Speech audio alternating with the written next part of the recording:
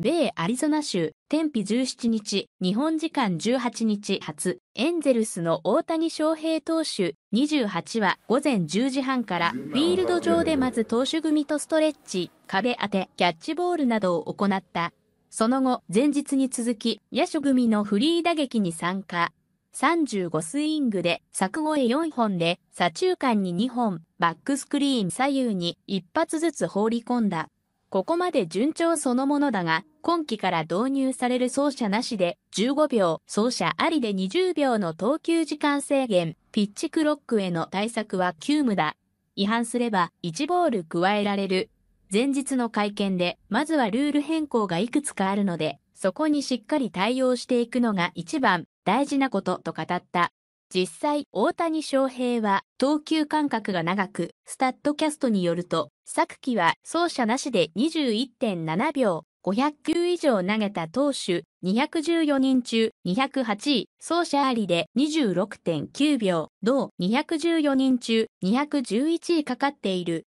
キャンプ初日にブルペン入りした際には、投手からサインを送る電子機器を使ってテストを繰り返した。しかし、ネビン監督は心配無用だと言い、多くの選手がルーティンで何年もやってきたことを変えようとしている。翔平も少し機敏にならなきゃっていうのは理解しているし、練習している。このルールが施行されることが決まって以来、すでに頭の中で練習を始めていたはずだよ。それが翔平だから、ブルペンやライブ BP で鳴らしていく方針だ。ワイズ投手コーチも、すごく大きな調整というよりは、これまでより意識しなければならないというだけ。翔平に限らず、他の投手も皆、最初は早く感じるみたいだ。マイナーで経験している投手らは、最初は早かったけど、今は普通に感じるらしいから、大丈夫だと強調した。さすがの大谷翔平も、最初は苦労しそうで、投球への影響も心配される。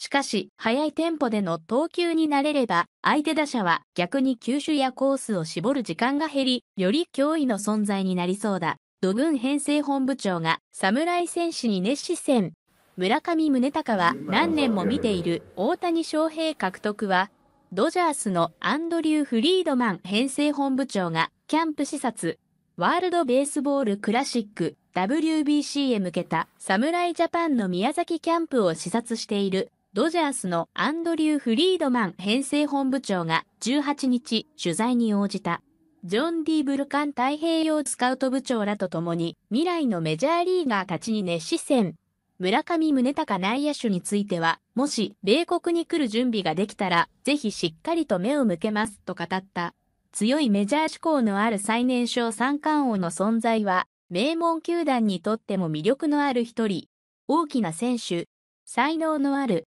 スカウトはもう何年間も見ていますので、この数年間、三塁の守備が良くなっているレポートも、スカウトから聞いていますと、チェックを続けている、超一流の NPB 選手たちを見るには、もってこいの宮崎キャンプ。山本由伸投手については、MLB 挑戦は噂には聞いていますが、正式に発表になれば、迎え入れられる準備はしたいと思うと語り、佐々木朗希投手に対しては、近い将来、しっかり映像で見ますというにとどめた。一方で、ドジャースはライオフに FA となる大谷翔平投手の獲得に本腰を入れているとの報道もあるが、水を向けられると、はっはっはと笑顔。メジャーリーグベースボールと選手会は FA に関するコメントは言えないので、と煙に巻いた。